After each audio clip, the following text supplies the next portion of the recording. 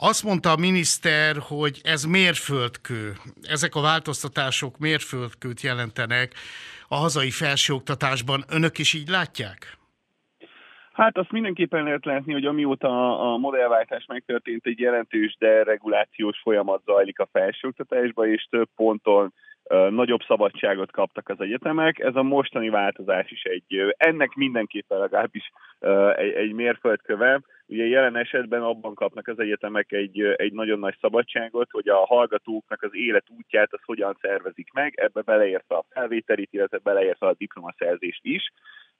Benne van a, a, a lehetőség, hogy, hogy egyetemek ezzel, ezzel az eszközzel jól éljenek, nyilván garanciát jelenteni nem fog, de itt ugye megnyílik arra a lehetőségük az intézményeknek, hogy akár egy szóbeli elbeszélgetést szervezzenek meg, ilyen formán akár mondjuk soft skill-eket is felmérhetnek, ami ugye a mai világban egyre fontosabb, de továbbra is meg lesz a lehetőségük arra, hogy mondjuk nyelvvizsgát, vagy emelt szintű érettségit várjanak el, vagy ezekért adjanak pluszpontot, vagy akár sport, vagy fizikális elvárásokat is támasztanak a hallgatók.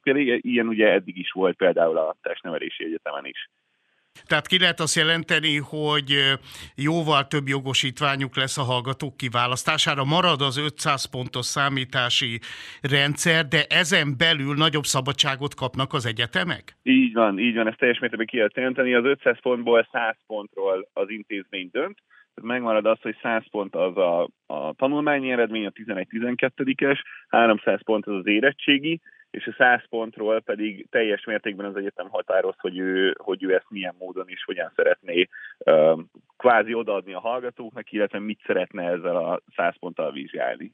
Az marad-e, mert nemrégiben foglalkoztunk itt a hangolóban a felvételi ponthatárok kiirdetésekor azzal, hogy mindenki hat helyre adhatja be a pályázatát, tehát megjelölhet hat intézményt. Ez marad-e, vagy itt szűkül a kör?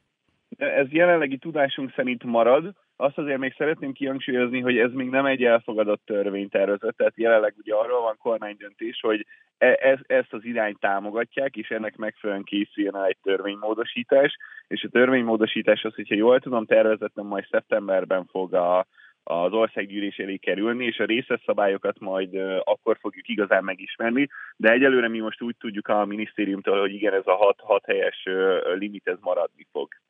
Egyébként, amikor önök tárgyaltak a minisztérium képviselőivel, mert ugye Csák János arról is beszélt, hogy egyeztettek előtte az egyetemekkel és igen, a hallgatói igen. önkormányzatokkal, mi volt az önök javaslata? Van-e olyan, amit még szeretnének, hogy esetleg majd a ház elé, tehát az országgyűlés elé kerüljön törvényjavaslat formájában? nem is annyira ilyen, ilyen normatív javaslatunk volt, inkább egy ilyen, inkább mi azt hangsúlyoztuk ki, hogy a jelenlegi rendszernek egy vitathatatlanul hatalmas erőnye az, hogy borzasztóan átlátható.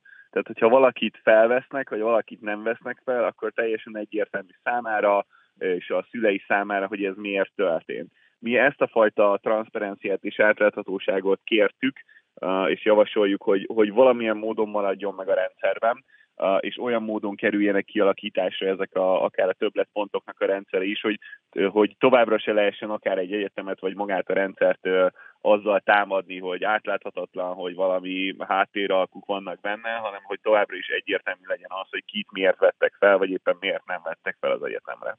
Önnel is, másokkal is sokat beszéltünk arról, hogy mennyi diploma ragad bent az elmúlt években, mert hát nem tudta átvenni az illető a hallgató, mert nem tette le a kötelező nyelvvizsgát. Csák János miniszter arról beszélt, hogy ez a nyelvvizsga kötelezettség az egyetemeken, főiskolákon meg fog szűnni tenni. Önök ezt hogy fogadták, ezt a hírt? Ezt egy kicsit felemásan fogadtuk. Nyilván a, nekünk az a, tehát az, az látható az elmúlt időszakban, hogy a nyelvvizsga, az követelmény, az nem jelent garanciát a nyelvtudásra. Tehát tulajdonképpen az utolsó ország vagyunk az Európai Unióban, akik elvárnak nyelvvizsgát a diplomához. Ez lassan 20 éve benne van a rendszerben, és 20 éve önmagában ez a követelmény nem oldotta azt meg, hogy a fiatalok beszéljenek idegen nyelveket, mert egyébként meg a nyelvi kompetenciákban viszont nem állunk jól Európai Uniós viszonylatban. Tehát nyilván az, hogyha kivezetik a, a nyelvvizsga követelményt, az sem jelent garanciát arra, továbbra sem, hogy a, hogy a magyarok nyelvi kompetenciái javulni fog. Ennek a feltételeit meg kell teremteni, és el kell oda jutni, hogy ne is kelljen erről a témáról beszélni, és arról, hogy hogyan mérjük a, a nyelvi kompetenciát, mert természetesnek kellene annak lenni, hogy egy 18 éves fiatal, amikor kijön a középiskolából, akkor beszél angolul vagy németül. Ide mindenképpen el kellene jutni a közoktatásnak, de a jelenlegi számok is azt mutatják, hogy az, hogy benne volt ez a ez a, ez, a, ez a kötelező nyelvvizsga, ez nem oldotta meg a, a fiatalok nyelvi kompetenciáit, és emiatt valóban sok diploma maradt ragad benne a korábbi években. Ugye ez két éve egy mozdulattal a kormány megoldotta és kiadta, utólagosan a, a bennmaradt nyelvvizsgákat. Ez a, ezzel a módosítással tulajdonképpen ugyanez a lehetőség most megint megnyílik, de itt az egyetemeknek nyílik meg a lehetősége. Tehát, hogyha elfogadják ezt a törvényt, akkor ezzel a részével nem kell 2024-ig várni, hanem ezt azonnal hatályba, vagy azonnal végre is lehet hajtani. Tehát, ha egy egyetem úgy dönt, hogy a továbbiakban nem, nem várja el, a nyelvvizsgát ahhoz, hogy kiadjon egy diplomát, ahhoz akkor ő most már most ősszel ki is adhatja ezeket a diplomákat.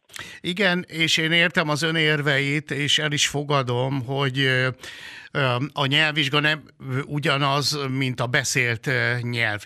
És a kormányzat is azt mondja, vagy a kulturális tárca, hogy mi a csodának például egy óvoda pedagógusnak a diplomához angolul, vagy németül, vagy bármilyen más idegen nyelven beszélni.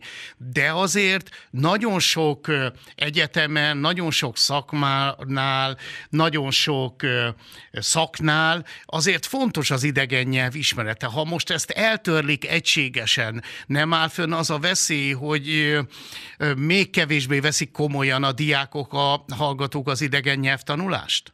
Én, én bízom benne, hogy nem. Én szerintem, tehát az, hogy a borzasztóan fontos, hogy fiatalok nyelveket beszéljenek, azzal szerintem mindenki egyet tud érteni a, az országban. Uh, Viszont ezt elsősorban a közoktatásban kell szerintünk rendezni, tehát az egyetem már nem, az egyetemnek is kell ebben felelősséget vállalni, legalább mondjuk egy szinten tartásban, és ez is mondjuk feladata lesz az egyetemeknek ezzel a módosítással, hogy azon túl, hogy megszervezzék a, amennyiben szeretnének saját nyelvi elvárásukat, úgy fejleszék is ezeket a lehetőségeket, tehát mondjuk meg lehet azt oldani, hogy egy adott tantárgynak keretein belül egy, egy adott rész már akár angolul vagy németül lehet tanulni.